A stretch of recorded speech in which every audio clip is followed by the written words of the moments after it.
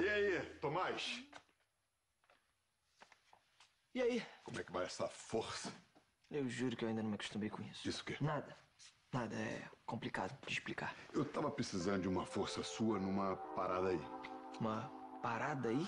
Você viu que eu toco baixo, não viu? Vi. Acho inclusive que você podia tocar mais baixo. Eu gostei, hein? Boa essa. Mais baixo. Muito boa. Não, não, não foi tão boa assim, não. Mas diante das circunstâncias, né? Não, você tem toda a razão. Tô um pouco enferrujado. Um pouco. Não totalmente.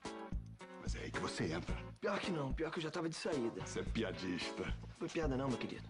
Você é o cara, Tomás? Eu sou o cara. E é por isso que eu preciso de umas aulas com você.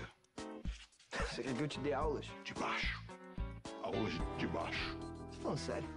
O rock corre nessas veias, velho. Sacou? Yeah.